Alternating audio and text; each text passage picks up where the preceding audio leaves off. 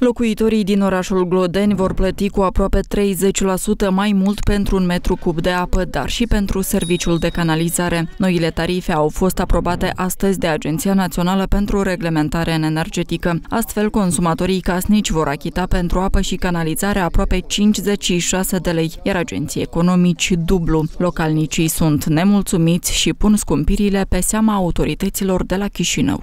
Primim 2000 de lei pe lună, pensie așa.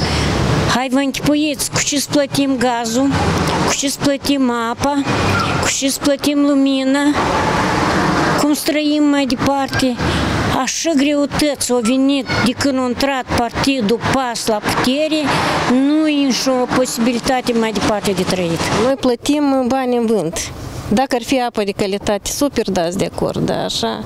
Locuitorii din Glodeni vor achita 27 de lei și 68 de bani pentru un metru cub de apă, iar pentru canalizare 27 de lei și 74 de bani. Pentru comparație, bălțenii achită doar 11 lei și 8 bani pentru consumul unui metru cub de apă. În termen de 30 de zile, de la data publicării în monitor oficial a Republicii Moldova. Vă mulțumesc și rog susținerea.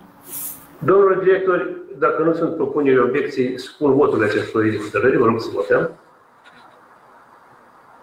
Vă mulțumesc, cu vot unanim hotărârea a fost aprobată.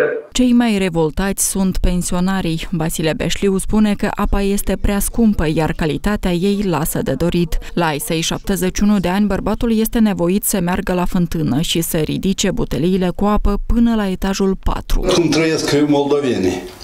Apa de la fântână, apa e potabilă de băut.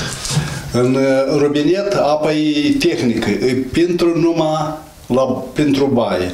Și cu asta mai ieșim din situație. Sucotiți în fiecare zi câte două butelii, câte șase litri, două litri de apă să duce la mâncare. Potrivit reprezentanților întreprinderii Servicii Comunale Glodeni, majorarea tarifului a fost o necesitate. În primăvară, costul de achiziție al apei s-a dublat. În consecință, în doar 5 luni, pierderile în domeniul alimentării cu apă și canalizare s-au ridicat la aproape 600 de mii de lei. В апреле мы подписали новый контракт с нашим поставщиком Сиране Магдвест на закупку питьевой воды, которая подается с прута. Сейчас, согласно новому контракту, он составляет 18 лей, 12 копеек с НДС 1 метр кубической воды и 13 ровно с НДС 1 кубический метр за stocnii воды. În prezent, 70% dintre locuitorii din Godeni sunt conectați la apeduct și doar 40% la rețeaua de canalizare. Apa este furnizată prin intermediul unei fabrici de zahăr care și-a asistat activitatea acum aproape 15 ani.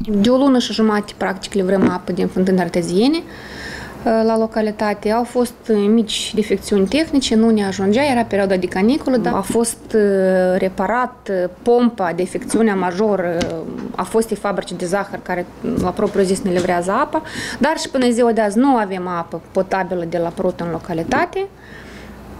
Personal, oficial, nu am fost anunțată de ce. Lungimea peductului din Gloden este de 34,9 km, iar canalizarea măsoară 18,2 km.